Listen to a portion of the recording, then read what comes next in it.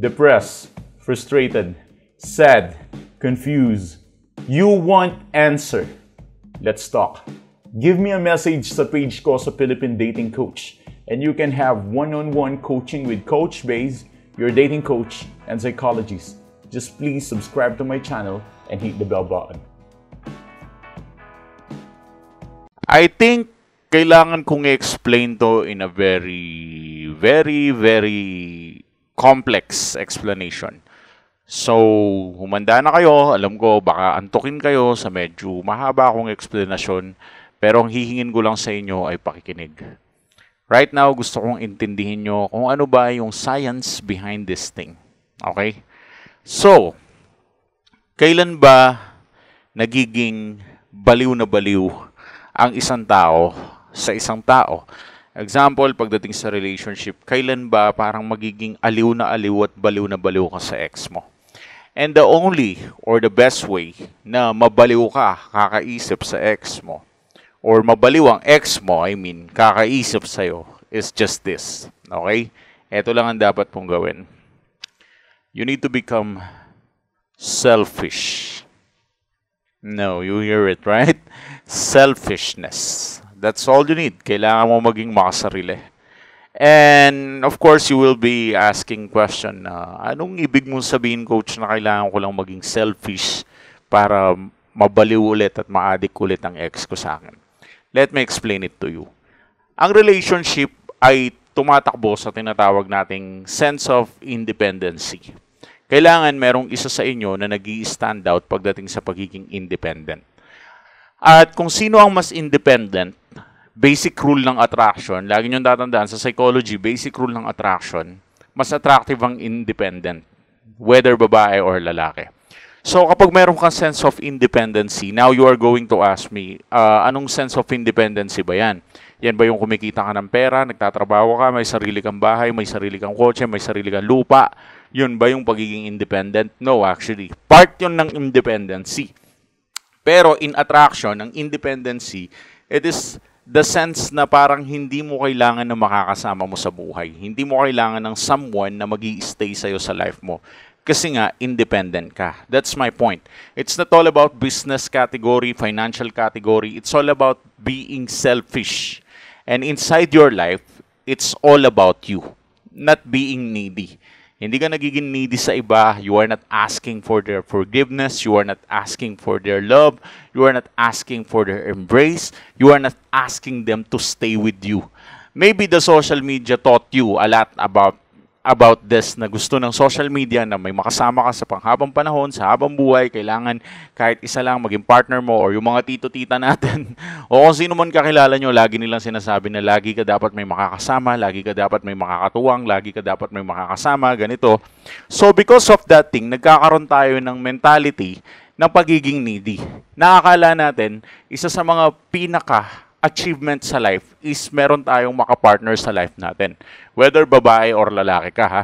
At dahil dito, binibigyan nila tayo ng idea na dapat ito yung tahakin nating landas. Ang pakikipag-asawa, pakikipag-ganito, which is agree naman ako sa pakikipag-asawa. My point is, nagiging basihan na kasi siya ng emotional standard mo, kaya nawawala na yung selfishness mo. And because of that, bumababa yung intensity level ng selfishness mo at tumataas naman yung level ng neediness mo. And I don't call that as love. I call that as neediness. Iba ang love sa neediness. Ang neediness, ito yung kailangan mo yung tao para i-comfort ka at mahalin ka. Ang love naman, ito yung bagay na kaya mong ibigay sa tao.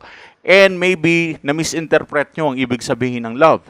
Akala nyo, love na love nyo yung ex nyo, but you are actually completely wrong completely wrong. I mean, ang tunay na love is not all about that obsession na ginagawa mo ngayon.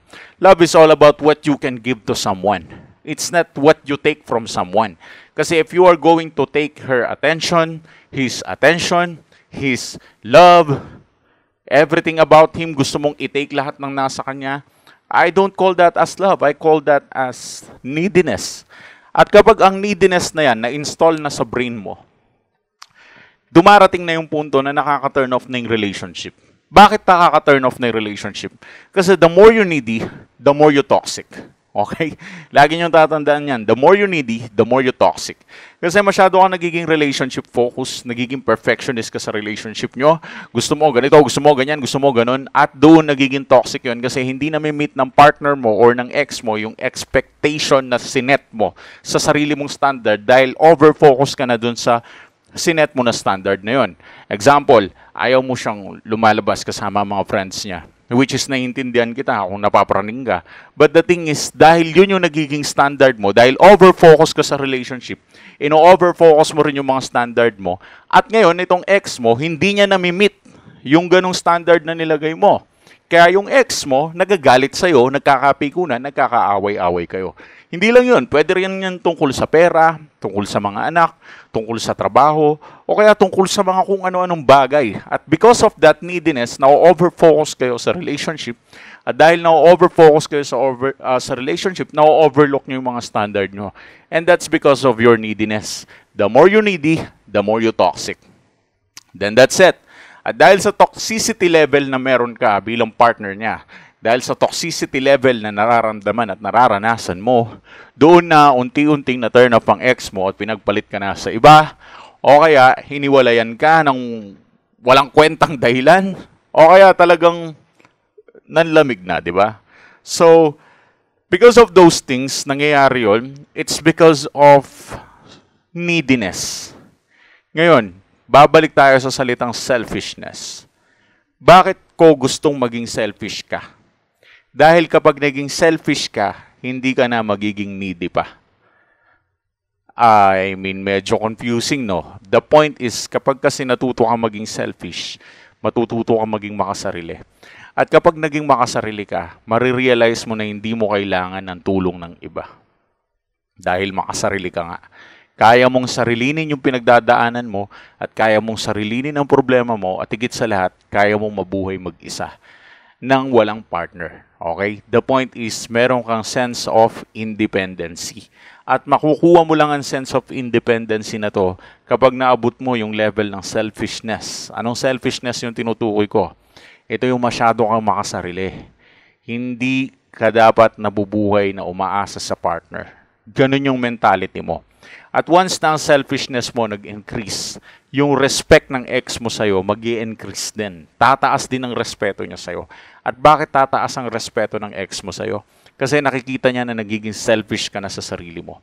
At once na nagiging selfish ka na sa sarili mo, tumataas na yung pride mo, nagkakaroon ka na ng mga prinsipyo, nagiging dominant ka na, nagkakaroon ka na ng dominant, uh, dominant body language, nagkakaroon ka ng mga dominant decision making na imbis na piliin mo magpaka-stupido, mas pipiliin mo to, mas pipiliin mo yan. Mas magiging accurate ka, mas magiging increase ang leadership mo, mag, mas, i, mag, mas magiging productive ang life mo. Sobrang daming benefits ang makukuha mo once naging selfish ka. And now, syempre, bubutasin nyo si Coach Base. Sasabihin nyo sa akin na, Coach, ano ba naman yung tinuturo mo? Tinuturo mo kami maging makasarili. Napaka-toxic naman nun. Actually, hindi. Kasi lahat kayo na mga bigo at broken-hearted, hindi nyo talaga mahal yung sarili nyo eh. Kasi kung talagang mahal mo yung sarili mo, bakit kaganyan ngayon? Bakit nung iniwan ka, nagkaganyan ka? Hindi mo ba kaya mabuhay mag-isa? Bakit nai-insecure ka sa breakup? Kasi kulang ka sa selfishness. Akala mo lang toxic ang pagiging selfish. Siguro sa ibang paraan, toxic ang pagiging selfish kung yung isa sa mga kamag-anak mo may sakit tapos ang dami-dami mong pera ayaw mo magbigay. Kuripot, kakuriputan na yun. Na, that's not my point. Ang puntong tinutukoy ko is selfishness. I mean, how will you choose yourself? Ito na kasi yung pinakatamang pagkakataon na piliin mo naman yung sarili mo.